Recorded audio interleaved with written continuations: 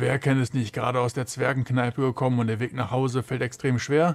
Jetzt gibt es zwei Möglichkeiten. Möglichkeit Nummer eins, hier auf die Bank setzen und einfach abwarten. Und Möglichkeit Nummer zwei für den Fall, dass das letzte Bier doch nicht schlecht war, einfach mal das Post-Process-Volumen checken, was auf Unbound gestellt ist hier, denn da gibt es die Motion Blur Einstellungen und die sorgen dafür, dass alles jetzt wie bei einem wahnsinnigen Rennen, wenn du das gespielt hast, einfach nach sich zieht. Aber du bist ja nicht immer in einem Autorennen und es muss nicht immer der Blur-Effekt sein. Wenn du das also loswerden willst oder ich habe es zum Beispiel festgestellt damals, da kann ich mich noch daran erinnern, als ich in die Sterne geguckt habe und habe mich dann halt gedreht in Game, dachte ich mir so, Sterne verschwimmen immer so komisch oder verschwinden sogar auch ganz, weil kleine Objekte, die verziehen sich dann so, dass du die dann wirklich halt gar nicht mehr sehen kannst. Und das lag nach einer kleinen Recherche dann wirklich bei mir am Motion Blur. Das heißt, an der Stelle habe ich sie natürlich extrem hoch eingestellt, um es dir zu zeigen. Standardmäßig ist das Ganze dann so eingestellt, aber das kannst du natürlich auch einfach ausstellen. In dem Fall einfach den Amount runterregeln oder hier den Max Amount und entsprechend anpassen. Und dann sieht das Ganze schon viel besser aus. Kannst du nochmal ganz kurz zeigen hier.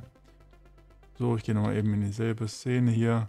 Also viel, viel, viel schöner, viel, viel, viel besser. Außerdem noch ein kleiner Tipp, wie du das insgesamt ausschalten kannst. Geh einfach auf die Settings, dann auf die Project Settings und dann in den Project Settings kannst du es suchen natürlich, aber ich will dir auch zeigen, wo es ist. Das ist hier auf der linken Seite unter Engine, dann auf, wo ist es, Rendering und dann sind wir hier ganz unten bei diesen Standardeinstellungen ist das bei den üblichen Verdächtigen, an denen ich immer vorbei scrolle. Ne, diesmal nicht. Oder doch? Wahrscheinlich schon, ne?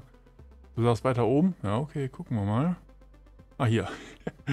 Jedes Mal. Ich finde das nie auf Anhieb. Ja, und dann haben wir hier halt auch die Motion Blur Einstellungen. Die kannst du einfach ausschalten, wenn du sie nicht haben willst. Ja, und jetzt, wo es uns besser geht, können wir eigentlich aufstehen und schön in Ruhe nach Hause gehen.